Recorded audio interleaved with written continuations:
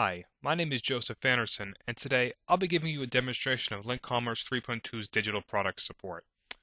But before we begin, here's a little bit about me. I'm a Microsoft Certified Professional and LinqCommerce Project Administrator. I also manage four other open source projects. So today we'll be discussing the digital products, which is a new feature for LinqCommerce 3.2, and it uses Google Checkout. So the user will go to Google, use their cart, uh, their cart will authorize a purchase, and then bring the user to a page on their site with the download link. Google Checkout will also send the user an email with the uh, download instructions for the product. And although LinqCommerce doesn't include this feature out of the box, what you can do is add license keys to this as well. So that you can extend on your own. So today I'll be giving you a tour of the LinqCommerce administration area, followed by a tour of the public area. We'll then log into Google Checkout Sandbox for the user experience and show you how Google Checkout will take control of the user's purchase. So what I'm going to do now is let me navigate to my website and I've created a test department, a test category here.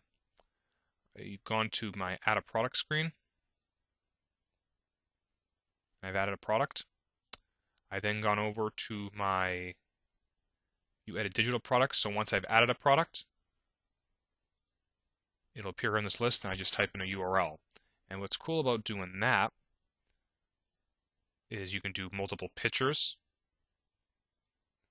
you can do multiple categories for the uh, for the content too. So let's take a look at the public side of the site. Take a look here, and our Google Checkout button has appeared. I'll click that button, and you've logged in as my user. I see here my store info can appear. You can do coupons, return policies, and shipping policies here. It'll also calculate the tax for you. Place that order now. It's going to authorize my card, and if the authorization is successful, which means it's able to take the $10 or $20 or whatever the purchase is out, you'll go to this page. But if not, you'll be bounced back. So there's my download link.